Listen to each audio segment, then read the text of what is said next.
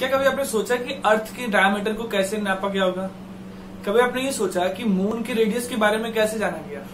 क्या कभी आपने ये जाना कि कोई भी प्लैनेट्स हमारी अर्थ से कितने डिस्टेंस पर है, ये कैसे पता लगा गया? सन का डायमीटर कोई कैसे नाप सकता है? अगर ये सारी चीज़ें आपको नहीं पता है तो आपको ये वीडियो देखने की बहुत ज़रूरत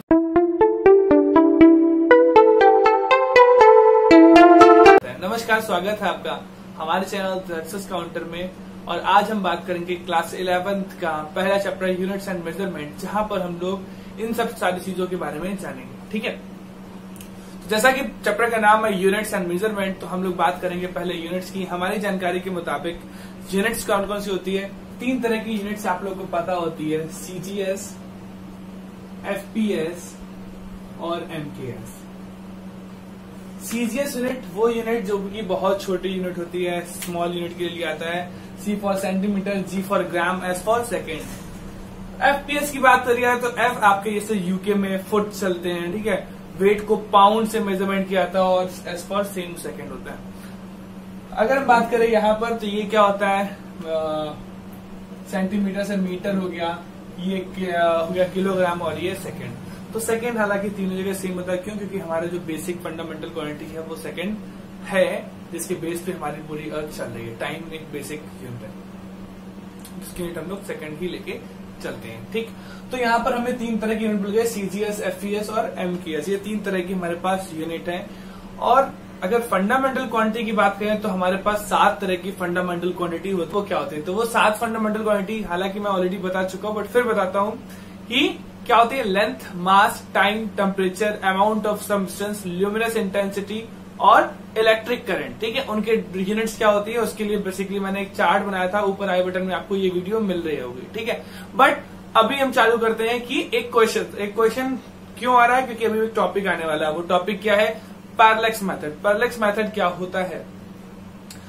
पैरलेक्स मेथड को आप यूज़ समझ लीजिए। जो मैंने वीडियो के सबसे पहले शुरुआत में क्वेश्चन पूछा था कि कभी आपने ये सोचा था कि अर्थ का हम डायमीटर कैसे निकाल सकते हैं? या हम यहाँ से बैठे बैठे, क्योंकि कोई इंची टेप तो है नहीं हमारे पास कि हम गए और हमने सुधा एक नाप दिया कि सन का और यहाँ से लेके स्केल नाप दिया।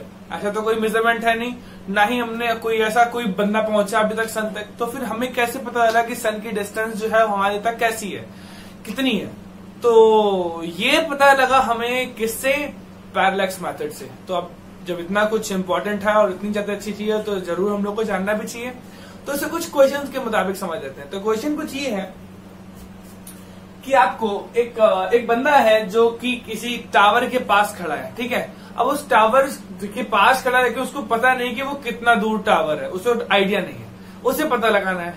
उसने क्या लगाया? उसने किया कि टावर के ठीक सिधाई में उसके और थोड़ी दूर, बहुत दूर बहुत दूर उसने कोई ऑब्जेक्ट को टारगेट कर लिया। जैसे सपोज़ के लिए आप बहुत दूर है मेरे लिए और ये पेन जो है मेरे लिए टावर तो मैंने ये डिस्टेंस मेजर करना था। मैंने ये डिस्टेंस मेजर करना था आपसे कि ये कितनी दूर है। ठीक है हमसे। तो मैंने आपके ठीक, मेरे इस टावर का ठीक सामने जो बहुत दूर ऑब्जेक्ट है, मैंने उसको टारगेट मान लिया।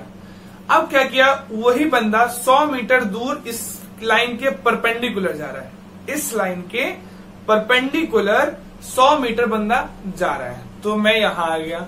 अब वो डिस्टेंस ऑब्जेक्ट है, ये अलग। अब मुझे अलग पाथ दिख रहा है, वो जो आप हो, मुझे कहीं और दिख रहा हो, किसी और लाइन में, और ये किसी और लाइन में दिख रहा है। तो जो डाइवर्जन हुआ ना, वो हुआ कुछ एंगल से। हम उस एंगल को मान लेते हैं 60 डिग्री ठीक है? तो क्वेश्चन अब यहाँ से पता लगता है कि भाई हमारे और इसके बीच की डिस्टेंस कितनी थी। ठीक है? बिल्कुल क्लियर तो क्वेश्चन क्लियर हो गया। अब पहुँचते अपने सोल्यूशन पे। तो सोल्यूशन कुछ ये है कि हमने किया क्या है? हम यहाँ पर है, एक ऑब्जेक्ट यहाँ पर है, और इसका नाम दे दिया हमने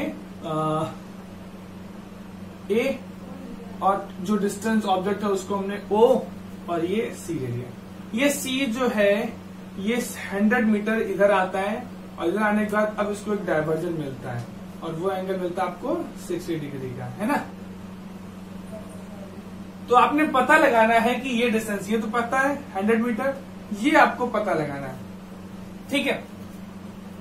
पैरलक्स मेथड यही कहता है for a very small angle for a very small angle theta is equals to theta is equals to अगर ये थीटा है तो परपेंडिकुलर अपॉन बेस यानी कि ये हंड्रेड अपॉन एक्स लेकिन ये सिक्सटी जो है स्मॉल एंगल तो है नहीं। तो जब स्मॉल एंगल नहीं है तो हम क्या लेंगे? टेन टेन का एंगल होता है ना? तो tan theta is equals to this one ठीक है? अब ये सिक्सटी डिग्री दिया हुआ है तो हम X is equals to hundred upon ten sixty कर सकते हैं। ठीक है? अगर आप चाहोगे तो आसान से निकाल सकते हो। अब इसको यूटिलाइज हम इस तरह से कर सकते हैं। सपोज़ कर लिए कि हम अर्थ के एक हिस्से पे हैं और दूसरे हिस्से पे हैं, ठीक है? तो हम अर्थ के एक हिस्से से देख रहे हो और दूसरे अर्थ की पोजीशन जब वापस घूम के आ जाएगी, हम इस पोजीशन पे देख रहे होंगे। ठीक है? सेम डिस्टेंस सेम जगह पर एक बार यहाँ से, एक बार इधर से देख रहे हैं। तो कुछ इंक्लाइंड हमें मिला, कुछ डिग्री ऑफ़ एंगल मिला बट वो बहुत छोटा एंगल हुआ, लगभग एक डिग्री से भी छोटा, बहुत छोटा। तो जब फॉर वेरी स्मॉल एंगल हमारे पास जो वैल्यू गिवन होगी, वो वही वैल्यू गिवन होगी theta is equals to B upon या सॉरी यहाँ पे क्या था? डी अपॉन कैपिटल डी ठीक है? डी बनाना नहीं आ रहा मुझे। डी अपॉन कैपिटल डी आप इसको बी भी बोल सकते हो। B upon capital D B का है छोटा छोटा है ना? दूसरा मतलब छोटी डिस्टेंस यानी कि अर्थ का और इधर का, इन दोनों के बीच की जो, उसके सर्कुलर पाथ के बीच की जो डिस्टेंस है। और डी जो सन के बीच की डिस्टेंस थी। ठीक है? तो ये चीज़ हमें बताई गई थी पैरलेक्स मेथड के थ्रू और इससे हम लोग सारी नोन डिस्टेंस सारी बड़ी बड़ी डिस्टेंस बेहद आसानी पूर्वक निकाल लेते हैं। ठीक है? तो ये था हमारा क्वेश्चन मास हम लोग को अगर आप सपोज़ कर लिए किलोग्राम आप अगर बात करोगे कि भैया ये तो नहीं कहोगे, इसमें एक किलोग्राम हाइड्रोजन है या एक किलोग्राम कार्बन यहाँ पर यूज़ करें तो जब एटम्स की बात करूँगा तो ये बहुत छोटे पार्टिकल्स होते हैं तो इनके लिए किलोग्राम नहीं मेजर कर सकते हैं। किलोग्राम या पाउंड तब तक तो ठीक है, जब हम लोग मार्केट में जा रहे हैं और ग्रोसरी के कुछ सामान ले रहे हैं, ठीक है? तो जब तक हम वो ले रहे हैं, तब तक वो ओके रहता है। बट अगर हम बात करें यहाँ पर तो यहाँ पर हमारे किलोग्राम यूज़ नहीं होते हैं और यहाँ पर हम यूज़ करते हैं atomic mass unit atomic mass unit जो एक नया चीज़ निकाला गया, वो ये निकाला गया कि एक कार्बन जिसका एटॉमिक मास सिक्स ट्वेल्व जिसका बोलते हैं मॉलिकुलर मास है, उसको हम लोगों ने क्या किया, उसका वन बाई ट्वेल्थ पार्ट ले लेना होता है। जिसको हमने बोल दिया वन एटॉमिक मास यूनिट ठीक है? तो ये बोलते हैं वन एटॉमिक मास यूनिट यानी कि one by twelve part of वो कार्बन जिसका मॉलिकुलर मास ट्वेल्व रखा गया है, ठीक? तो ये होता है ह्यूज जिसे नोट करते हैं। नेक्स्ट रेंज ऑफ़ मास फिर से वही साइज़ ऑफ़ प्रोटॉन का फिर से आपके सामने एक स्क्रीन पे आ रहा है क्या? कि proton nucleus nucleus hydrogen atom ठीक है? कुछ वायरस ऐसे अभी चल रहे हैं कोरोना वायरस इनके जो ऑर्डर्स होते हैं इनका रे, रेंज होता है लेंथ का वो सामने आपको पूरी पूरी चीज़ मिल रही है ठीक है? इनके मास की रेंज आपको मिल रही है। तो अब बात करते हैं मेज़रमेंट ऑफ़ टाइम पे। मेज़रमेंट ऑफ़ टाइम हमारे यहाँ फिर से एक बहुत इंटरेस्टिंग चीज़ है जो हमारे वापस मिली। मेज़रमेंट ऑफ़ टाइम के लिए एक आईएसटी uh, होती है। आपने देखा होगा जीएमटी आप लिखा होता है one five zero five double ratio three zero तो ये हमारा IST Indian standard international standard time हमारा जो है जीएमटी फाइव थर्टी है, ठीक है? तो ये चीज़ हमको मेजर करती है वही वापस एनपीएल नेशनल फ़िज़िकल लेबोरेटरी में। उसके पास रिस्पॉन्सिबिलिटी है कि इंडिया का जो आईएसटी है वो मेंटेन रहे। वो बाकी कंट्रियों के या पूरे थ्रू आउट द टाइम के मेंटेन रहे, ठीक है? अब उसमें क्या होता है कि अब हम लोग वहाँ पर एक एटम का वाइब्रेशन टच करते हैं। ये वन सेकेंड कैसे मेजर किया गया? सीजियम नाम की एक एटॉमिक क्लॉक होती है, जिसको हम लोग एटॉमिक क्लॉक या सीज़न क्लॉक भी बोलते हैं। उस सीज़न क्लॉक में about nine billion one thirty two millions of vibration होती है एक सेकेंड में। तो वो एक्यूरेट देता है पूरी टाइम की वैल्यू वो एक्यूरेट वैल्यू देगा टाइम की वैल्यू और वहाँ से हम लोग मेजर करते हैं कि एक सेकेंड क्या होता है। तो कभी आगे पीछे होती तो उसको उस एनपीएल से, यानी उस, जो सीज़न क्लॉक है, वो एनपीएल वहाँ से बैलेंस करता है मेंटेन करता है आईएसटी को। ठीक है? तो यहाँ पर हम बात करें कि टाइम क्या होता है, यहाँ से हमें पता जाता है। अब बात कर रहे हैं एक्यूरेसी और प्रिसीजन की। एक्यूरेसी क्या होता है? एक्यूरेसी जैसे बात करेंगे, इसका मतलब एरर्स भी आ रहे हैं। तो एरर्स की बात कर लेते हैं। एरर्स क्या होते हैं? भाई, हमने छोटी चीज़ें मेजर करी और मेजर कर रहे हैं, उसमें छोटे मोटे तो एरर्स आ ही जाएँगे। अब कैसे हो सकता है एरर जैसे एक छोटा सा एरर हम आपको बता दें कि आप जैसे सपोज़ करिए आप छोटे से पार्टिकल की आप लेंथ मेजर कर रहे हो अपने नॉर्मल स्कूल वाले स्केल से। तो अब उस स्कूल वाले स्केल का लीस्ट काउंट क्या होता है? लीस्ट काउंट वो काउंट होता है जो उससे सबसे लीस्ट काउंट हो पाए। एक स्केल में आप बात करोगे तो 15 सेंटीमीटर स्केल जो होता है, उसमें क्या होता है? एक इंच होता है, एक साइड सेंटीमीटर होता है। तो 15 सेंटीमीटर का एक सेंटीमीटर यानी कि ये। उसके बीच में क्या होता है? एक, दो, तीन, चार, फिर उसका पाँच, एक, दो, तीन, चार, फिर पाँच। तो यहाँ से यहाँ एक लीस्ट काउंट है, उससे छोटा तो कोई मेजर नहीं हो सकता है। तो एक सेंटीमीटर के दस पार्ट होते हैं। तो यहाँ पर क्या हुआ? One by ten of centimetre ये उसका लीस्ट काउंट है, यानी कि वन एम mm. वो उसका लीस्ट काउंट है। तो एक वो वाला फिफ्टीन सेंटीमीटर स्केल जो है, वो वन मिलीमीटर स्केल मेजर कर सकता है मिनिमम अब सपोज़ करिए कोई वैल्यू जो है वो 1.2 पॉइंट mm की है। अब अगर हमने उस स्केल से मेजर किया तो हमारे पास वैल्यू क्या आएगी? 1 mm की? है ना? तो हम तो वो वन एम एम को ही लेंगे कंसिडर करेंगे। अब क्या हुआ? क्या वो वन एम एम था? नहीं ज़ीरो पॉइंट टू एरर था ना तो ये one plus minus zero point M में चला गया। ये एम एरर आ गया। तो ये होते हैं एरर ये होता है लीस्ट काउंट एरर अब रैंडम एरर क्या है? जैसे मान लीजिए आपका टेम्परेचर है, मेरे अंदर का टेम्परेचर क्या है? नॉर्मल 37 डिग्री सेंटीग्रेड होता है। लेकिन हम आर्मपिट के अंदर रखेंगे तो यहाँ का टेम्परेचर इससे अंतर होगा। जैसे मान लीजिए कुछ सिस्टमिक सिस्टमेटिक एरर्स हो सकते हैं। फॉर एग्ज़ाम्पल आपने कोई मेज़रमेंट कोई डिवाइस ली और डिवाइस क्या है, वो कैलिब्रेशन में थोड़ा सा एरर दिखा दी कि वो बाद में हो रही है। आप स्टॉप वॉच लगाते हो स्टॉप वॉच में थोड़ा सा टाइम आगे पीछे हो गया तो ये कैलिब्रेशन टाइम में भी एरर्स आ सकते हैं। तो ऐसे कई सारे एरर्स होते हैं जिनको हम लोग एरर में पढ़ते भी हैं एरर के ऊपर एक पूरी, एक न्यूमेरिकल्स है तो आज हम कुछ एरर के बारे में बात करेंगे।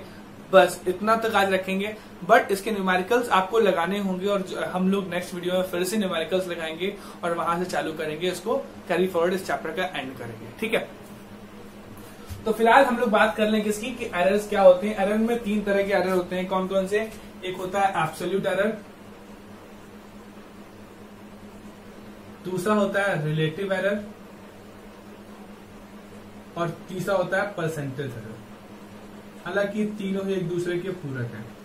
एब्सोल्यूट एरर क्या होता है? कि सपोज़ करिए आपके पास कई सारी वैल्यूज़ दी गई हैं A one A two A three A four A five तो हमने तीन वैल्यू लेते हैं, तीन वैल्यू केस में ए वन ए टू और ए थ्री तो क्या करेंगे? इन तीनों का मीन कितना आया? मीन क्या होगा? A mean A one plus A two plus A three by three है ना? तो क्या होगा? एरर क्या होगा? Absolute error delta A one यानी ए वन में कितना एरर आ रहा है? ए वन में आ रहा है A one minus A mean है ना? तो ये ए वन का एरर हो गया। वैसे ए टू का डेल्टा ए टू कितना आ गया? A two minus A mean और ए थ्री कितना आ गया? A three minus A mean most of the case में तीन में से दो में क्या आएगा वैल्यू ये पॉजिटिव आएगी और एक में negative most of the case में पॉजिटिव आती है, कुछ में निगेटिव भी आती है। बट ध्यान दीजिएगा कि क्या होगा? ओवरऑल हम बात करें कि डेल्टा ए जो आएगा, वो हमारा पॉजिटिव ही आएगा मॉड में। मॉड ऑफ़ डेल्टा ए जो आएगा, वो पॉजिटिव आएगा। ठीक है? ये क्लियर है? चलिए। तो ये हो गया हमारे एप्सोल्यूट एरर ठीक है? Delta A one delta A two और डेल्टा ए थ्री ये हमारे एप्सोल्यूट एरर हो गए। अब अगर एप्सोल्यूट एरर हो गया तो हम इसमें एक चीज़ और जो कि लिखा नहीं है, हम बोलते हैं मीन एरर्स क्या होते हैं? मीन एरर क्या होगा? भाई ये तीन थे तो अब मीन एरर जिसको हम लोग बोलेंगे डेल्टा ए मीन है ना? ये हो जाएगा delta A one plus delta A two plus delta A three upon three ये हो जाएगा हमारा मीन एरर तो हमें मीन एरर मिल गया। अब बात करते हैं हम लोग रिलेटिव एरर तो रिलेटिव एरर क्या होता है?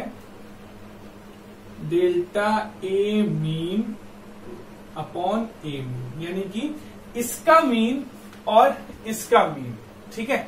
ये वाला मीन इन दोनों के बीच का रिलेशन जो होगा, वो होगा हमारा रिलेटिव एरर ठीक है? एज सिंपल एज दैट अब बात करते हैं परसेंटेज एरर की, ठीक? तो परसेंटेज एरर क्या होता है? परसेंटेज एरर होगा delta A mean upon A mean into hundred ठीक है? तो ये हमारा परसेंटेज निकल के आ जाएगा और ये हमारा होता है परसेंटेज एरर तो कैसे निकालना है? आपको इस चीज़ को यूज़ करिएगा। नहीं आएगा, हम लोग जैसे बताया कि न्यूमेरिकल्स नेक्स्ट क्वेश्चन में जैसे चलेंगे, वैसे एक न्यूमेरिकल लगाएँगे, तभी हम लोग शुरुआत करेंगे। टिल दैट घर में रहिए सेफ़ रहिए, सुरक्षित रहिए। ठीक है, अपने और अपने का ख्याल रखिए। धन्यवाद। Helgen nærmer spør alle hva jeg gjør da. Jeg hitter kløben som om hverdag var en lørdag. Så mange damer er å drikke